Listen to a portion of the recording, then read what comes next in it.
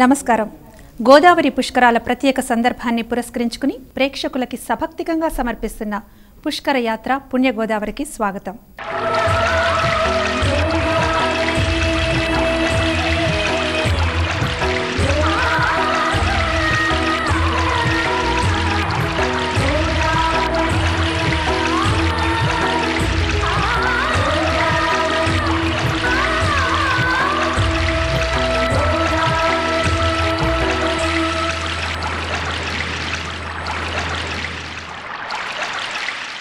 ఇవాటి ప్రత్యేక కార్యక్రమంలో తూర్పుగోదావరి జిల్లాలో గోదావరి తీరాన వెలిసిన మార్కండేశ్వరుణ్ణి కోటిలింగేశ్వరుణ్ణి దర్శించుకుందాం.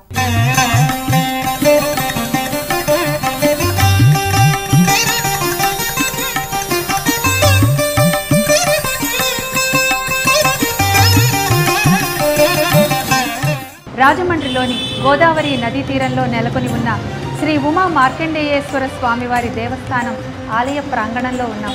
ఇక్కడ మార్కండేయ మహామునిచే స్వయంగా ప్రతిష్ఠించబడిన ఈశ్వరలింగాన్ని మనం దర్శించుకోవచ్చు. మార్కండేయునిచే ప్రతిష్ఠించబడింది కాబట్టి ఇక్కడ ఈశ్వరుడు శ్రీ మార్కండేయేశ్వర స్వామిగా పూజలు అందుకుంటున్నాడు. రండి ఆ స్వామివారిని దర్శించుకుని తరిద్దాం. వేదంలా ఘోషించే గోదావరి అమరధామంలా శోభిల్లే రాజమహేంద్రి. రెండింటికి శతాబ్దాల చరిత్ర ఉంది. పరమపావనమైన గోదావరి నదీ తీరంలో వెలసిన ఈ క్షేత్రం వందల సంవత్సరాలుగా ఆధ్యాత్మికతకు ఆలవాలంగా భాసిల్లుతోంది. గత వైభవ దీప్తికి నిదర్శనంగా నిలుస్తోంది. పుష్కరాల పుణ్య ఘడియల్లో ఈ గోదావరి తీరం దివ్య కాంతుల్ని వెదజల్లుతోంది.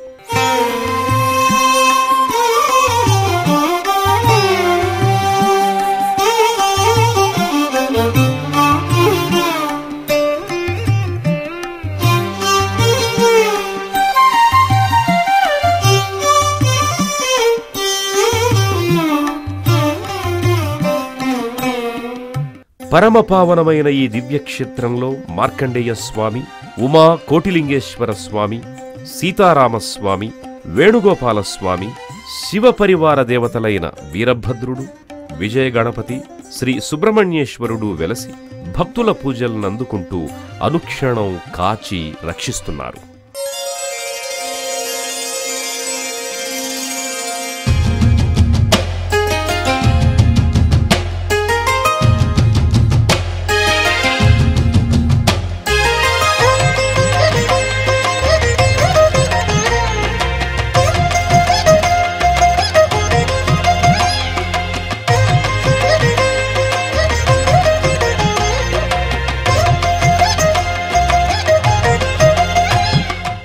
గోదావరి పుష్కరాల పుణ్య ఘడియల్లో అత్యంత మహిమాన్వితమైన ఈ క్షేత్రం కోటి వెలుగుల్ని సంతరించుకుంది.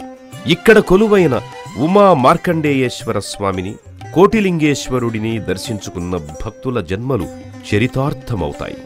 భక్తులకు కోరిన వరాలను ప్రసాదించే కొంగు బంగారంగా ఈ మార్కండేయేశ్వరుడు కోటిలింగేశ్వరుడు విరాజిల్లుతున్నారు. वन्दे शम्भुमुमापतिं सुरगुरुं। वन्दे जगत्कारणम् वन्दे पन्नगभूषणं मृगधरं। वन्दे पशूनां पतिम् वन्दे सूर्यशशाङ्कवह्निनयनं। वन्दे मुकुन्दप्रियम् वन्दे भक्तजनाश्रयं च वरदम् వందే శివం శంకరం. పరమపావనమైన ఈ దివ్యక్షేత్రంలో మార్కండేయ మహర్షి జనకుడైన మృకండ మహర్షి సంతానం కోసం ఘోరమైన తపస్సు చేశాడు. ఆయన తపస్సుకి మెచ్చిన ఈశ్వరుడు ప్రత్యక్షమయ్యాడు. మృకండ మహామునికి పుత్ర సంతాన యోగం కలిగింది.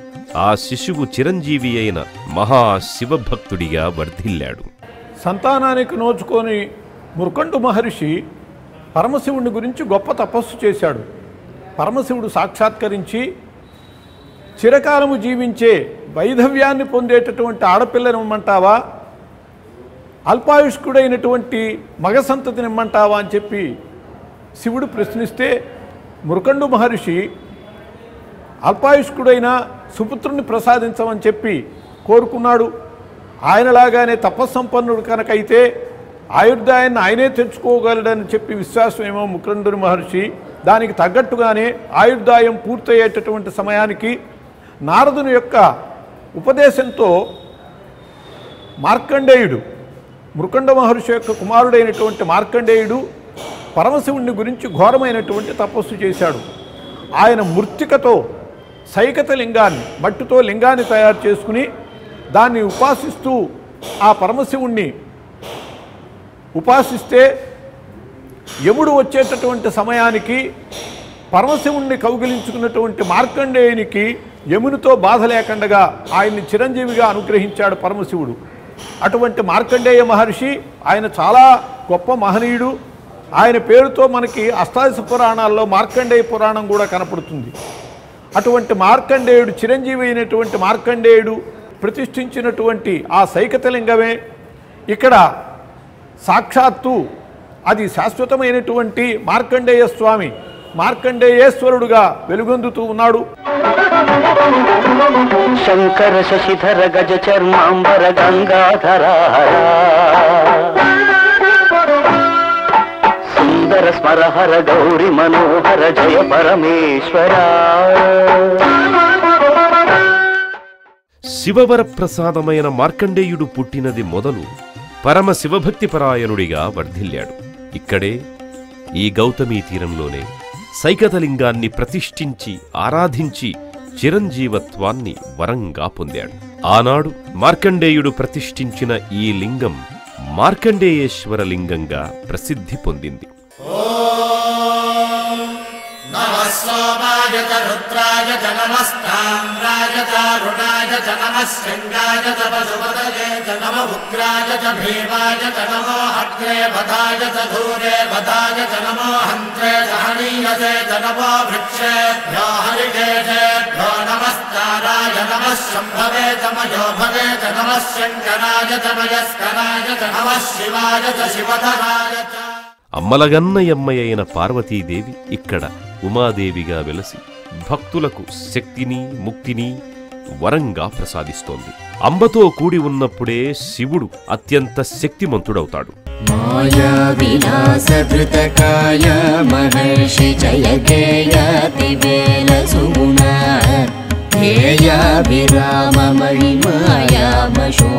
పదాయ విరాజతి సదా.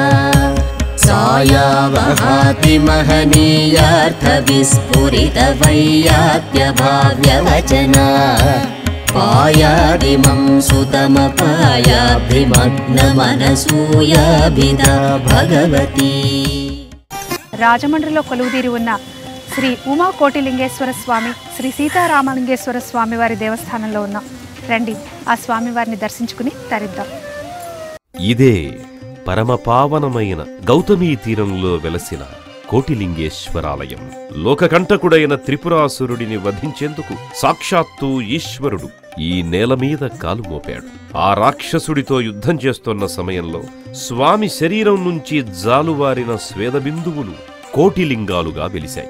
ఆనాటి నుంచి ఇది కోటిలింగేశ్వర క్షేత్రమయ్యింది. ఇది ఉమా కోటిలింగేశ్వర స్వామి క్షేత్రం. పరమశివుడు త్రిపురాసుర సంహారం చేసే సమయంలో ఆయనకి విపరీతమైనటువంటి స్వేదజలం ఏర్పడ్డది. ఆ స్వేద బిందువులన్నీ నేలపడ్డటువంటివి అవే కోటి లింగాలుగా ఏర్పడ్డాయి అని చెప్పి కూడా ఇక్కడ పురాణ కథనంగా చెబుతారు.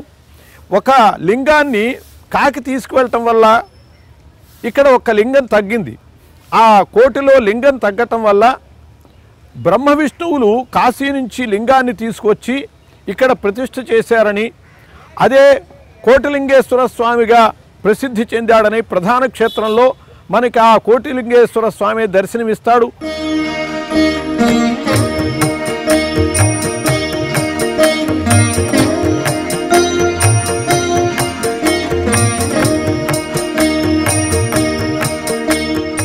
పావన చరితయైన గోదావరి నదిలో కోటిలింగాలు చేరి ఉన్నాయి. కనుక ఈ రేవుకి కోటిలింగాల రేవు అనే పేరొచ్చింది. ఈ క్షేత్రాన్ని దర్శించుకున్న భక్తులు ముందుగా కోటిలింగేశ్వర దర్శనం చేసుకున్న తరువాత తప్పనిసరిగా ఈ రేవుకి వచ్చి పుణ్య గోదావరిలో నిబిడీకృతమై ఉన్న కోటిలింగాలకు నమస్కరించి ఈశ్వర కటాక్షాన్ని పొందుతారు. దీన్ని కోటిలింగాల రేవు అంటారు. ఇదే ఉమాసహిత కోటిలింగేశ్వర స్వామి క్షేత్రం. కోటిలింగేశ్వర స్వామి క్షేత్రంలో మనకు ఆ కోటిలింగాలు దర్శనం ఇవ్వవు మరి ఏమయ్యా ఈ కోటిలింగాలు అంటే అవన్నీ కూడా ఈ గోదావరి నది గర్భంలో ఉన్నాయని చెప్పి ప్రతీతి.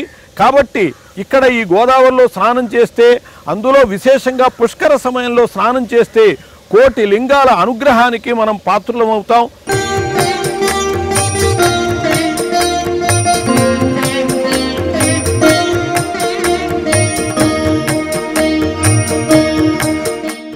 పరమేశ్వరుడు ఎక్కడ ఉంటే అక్కడికి పరివార దేవతలంతా తరలి వస్తారు. అందువల్లే ఈ కోటిలింగేశ్వర ఆలయ ప్రాంగణంలో భువనేశ్వరీదేవిగా అమ్మవారు విజయ గణపతి సుబ్రహ్మణ్యేశ్వరుడు కొలువు తీరారు. ముందుగా విజయ గణపతిని సేవించుకున్న తరువాతే స్వామిని ఆరాధించడం ఆనవాయితీ. ఆయన పరివారం అంతా కూడా ఇక్కడ ఉన్నది. గణపతి క్షేత్రం ఉన్నది. నవగ్రహాలు ఉంటారు. భువనేశ్వరి మాత ఉన్నది సుబ్రహ్మణ్యేశ్వర స్వామి ఉన్నాడు. ఈ విధంగా ఆయన పరివారం అంతా కూడా ఆ ఉమాసహిత కోటిలింగేశ్వర స్వామి సన్నిధిలో మనకి దర్శనమిస్తారు. అఖిల భువనాలను తన కృపారస వృష్టితో కటాక్షించే ఆదిపరాశక్తి ఈ క్షేత్రంలో భువనేశ్వరీదేవిగా కొలువుదీరింది. నిర్మలమైన భక్తితో భువనేశ్వరిని సేవిస్తే భుక్తికి సంపదకి ముక్తికి లోటు ఉండదని దేవి భాగవతం చెబుతోంది. ఐగిరి నందిని నందిత మోదిని విశ్వ వినోదిని నందినుతే గిరివర వింధ్య శిరోధిని వాసిని విష్ణు విలాసిని జిష్ణునుతే. భగవతి హేషితి కంఠ కుటుంబిని భూరి కుటుంబిని భూరి కృతే. జయ జయ హే మహిషాసురమర్దిని రమ్యకపర్దిని శైలసుతే. కోటిలింగేశ్వర స్వామి యొక్క సన్నిధిలో నాగప్రతిష్టలు జరపటం వల్ల సంతానం కలుగుతుంది అని చెప్పి ప్రతీతి అనేక మంది ఇక్కడ నాగప్రతిష్టలు చేసి సంతానం పొందినటువంటి నిదర్శనాలు ఉన్నాయి. ఇక్కడ వెలసిన సుబ్రహ్మణ్యేశ్వరుడిని సేవించుకున్న భక్తులకు సంతాన భాగ్యం కలుగుతుంది. ఎందరెందరో భక్తులు ఈ సుబ్రహ్మణ్యేశ్వర ఆలయానికి ఎదురుగా ఉన్న వృక్షం కింద నాగదేవతలను ప్రతిష్ఠించి సంతానాన్ని పొందారు.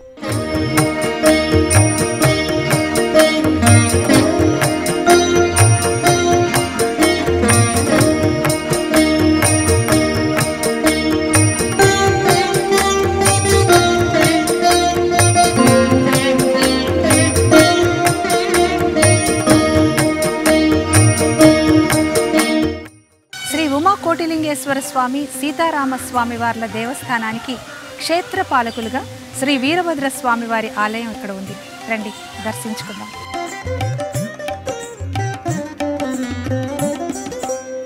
కాలభైరవుడు ఈ క్షేత్ర పాలకుడు ఇక్కడ ముందుగా విజయ గణపతిని దర్శించుకుని ఆ తరువాత క్షేత్రపాలకుడైన వీరభద్రుడి అనుమతి తీసుకున్న తరువాతే భక్తులు ఉమాసహిత కోటిలింగేశ్వరుడిని దర్శించుకోవాలి. అప్పుడే పరిపూర్ణమైన యాత్రాఫలం దక్కుతుంది. శ్రీమన్మహావీరభద్రాసు మౌనీంద్రభద్రపణ సర్వసిద్ధిప్రదాభద్రకాళీ మనః పద్మ సంచార భాగ్యోదయానిత్య సత్య ప్రియా సచ్చిదానందరూపా విరూపాక్ష దక్షధ్వరధ్వంసగా దేవ నీ దైవ తత్వం బులన్ బొగడ బ్రహ్మాదులే చాలరన్నన్ అలాగే ఇది హరిహర క్షేత్రంగా హరిహర అద్వైత క్షేత్రంగా ఇక్కడ సీతారామచంద్రుల యొక్క దేవాలయం కూడా మనకి దర్శనమిస్తుంది. ఏ యుగంలోనైనా ఏ క్షణంలోనైనా శివకేశవులు ఒకరిని విడిచి మరొకరు ఉండలేదు అన్నది జగమెరిగిన సత్యం.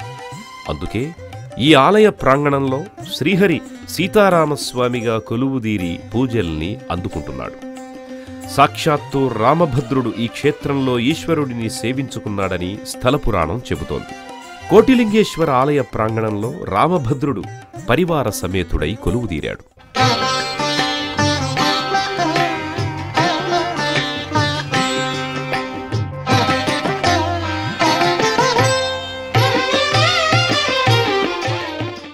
పావన క్షేత్రమైన రాజమహేంద్రవరంలో గోదావరి పరవళ్ళు తొక్కుతూ ప్రవహిస్తుంది. శివకేశవులిద్దరినీ ఏకకాలంలో సేవించుకునే భాగ్యాన్ని పొందగలిగినందుకు అమితానందంతో ఉరకలేస్తోంది. రామభద్రుడిని విడిచి అరక్షణమైనా ఉండలేని హనుమ ఈ దివ్యక్షేత్రానికి స్వామిని సేవించుకునేందుకు పరుగు పరుగున వచ్చాడు. పంచానామపి భూతానాం అపశ్రేష్ఠత్వమాగత.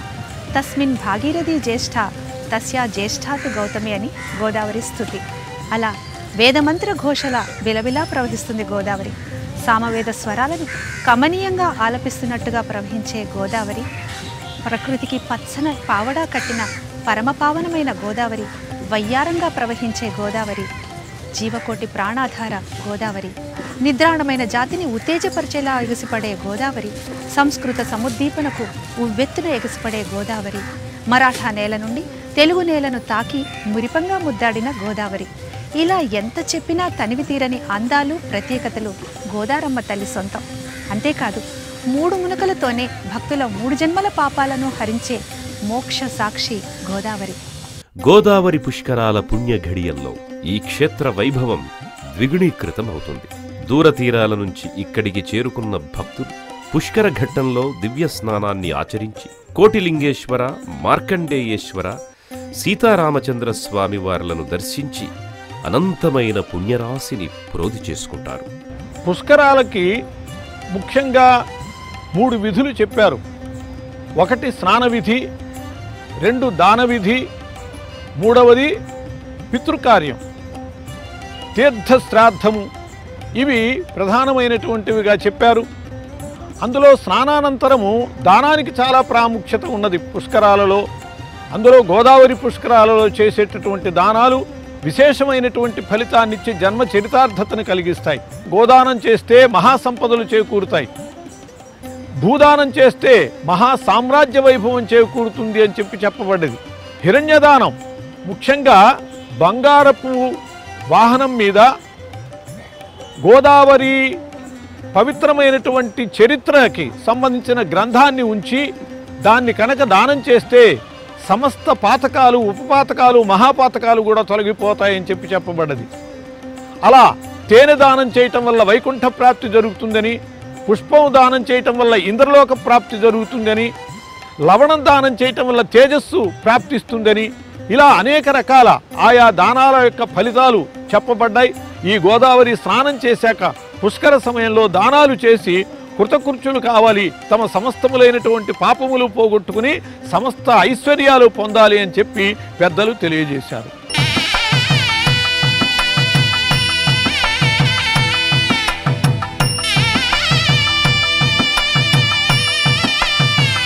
పుష్కర స్నానాలు ఆచరించి పితృకార్యాలను నిర్వర్తించేందుకు పరమపావనమైన ఈ క్షేత్రానికి చేరుకునే భక్తులకు దర్శన భాగ్యాన్ని ప్రసాదించేందుకు భగవంతుడు నేరుగా గోదావరి తీరానికి వేంచేశాడు. ఈశ్వరుడు ఇక్కడ పంచముఖాలతో దర్శనాన్ని అనుగ్రహిస్తున్నాడు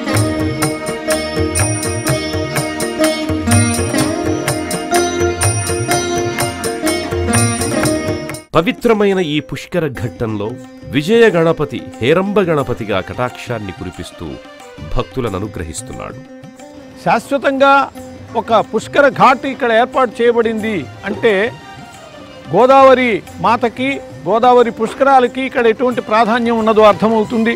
అలాగే ఇక్కడ పంచముఖ గణపతి హేరంబ గణపతి కూడా మనకి దర్శనమిస్తాడు.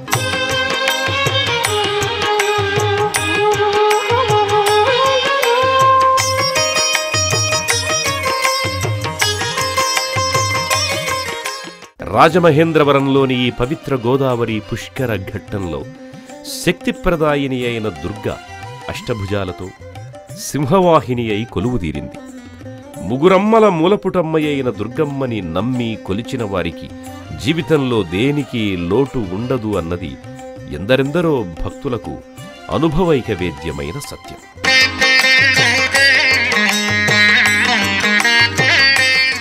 దుర్గామాత ప్రతిష్ట జరిగి ఉన్నది. ఆమెను మనం చక్కగా దర్శించుకుని ఆమె యొక్క అనుగ్రహాన్ని పొందొచ్చు. అలాగే వెంకటేశ్వర స్వామి నిలయం ఇక్కడ ఉన్నది. పాండురంగ విఠలుని ఆలయం నిర్మాణం అయింది గాయత్రి మాత పంచముఖ గాయత్రి ముక్తా విద్రుమ హేమ నీల ధవళఛాయే ముఖైస్త్రీక్షణ అని చెప్పి ఏదైతే గాయత్రిని చెప్పుకుంటామో అలా పంచముఖ గాయత్రి పంచముఖ పరమశివుడు పంచముఖ గణపతి ఇలా ఎక్కడా లేనటువంటి విశేషమైనటువంటి విగ్రహాలు ఇక్కడ ప్రతిష్ఠితమయ్యాయి.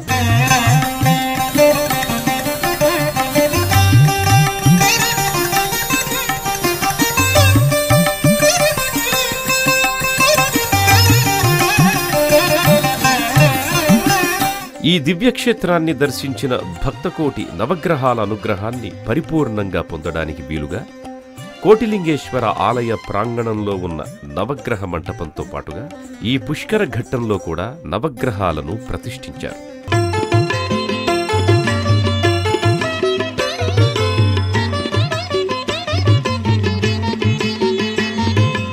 హరిహర క్షేత్రమైన ఈ దివ్యక్షేత్రానికి పుష్కరాల వేళ భక్తకోటి అనంతంగా పోటెత్తుతుంది.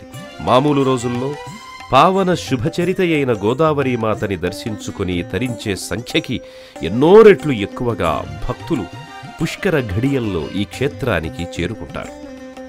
తనను సేవించి తరించవచ్చిన భక్తులను చూసి తల్లి గోదావరి పొంగిపోతుంది. అనంతమైన దివ్యవరాలను వారిపై కురిపిస్తుంది. అఖండమైన శక్తిని వరదానంగా అనుగ్రహిస్తుంది.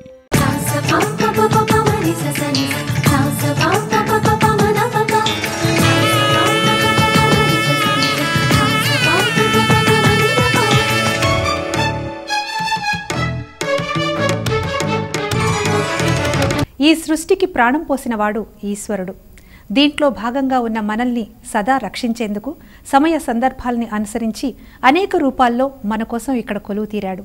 ఈశ్వరుడిగా అవతరించిన హరిగా దర్శన భాగ్యాన్ని అనుగ్రహించిన అమ్మలగన్న అమ్మ అయిన ఆది పరాశక్తి రూపంలో మనల్ని కటాక్షించిన పరబ్రహ్మ అయిన పరమేశ్వర తత్వానికి ఉన్న కరుణ అనంతమైనది.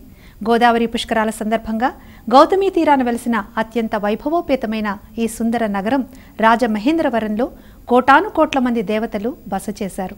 ఇప్పటిదాకా ఆ దేవతల అనుగ్రహాన్ని మనం ప్రత్యక్షంగా అనుభవించాం. మళ్ళీ రేపటి పుణ్య గోదావరిలో రాజమండ్రిలోని వేణుగోపాలస్వామి ఆలయాన్ని దర్శించుకుందాం. నమస్కారం.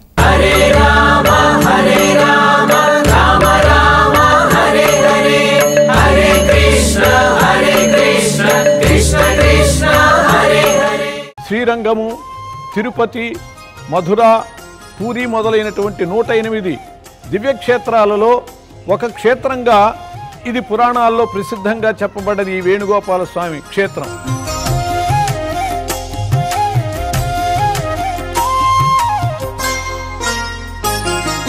రోజుకు పదకొండు సార్లు నలభై రోజుల పాటు ఈ ఆలయం చుట్టూ ప్రదక్షిణలు గావిస్తే భక్తుల కోరిన కోరికలు నెరవేరుతాయని భక్తుల ప్రగాఢ విశ్వాసం. भजे व्रजैकमण्डनम् समस्तपापखण्डनम् स्वभक्तचित्तरञ्जनम् सदैव नन्दनन्दनम्।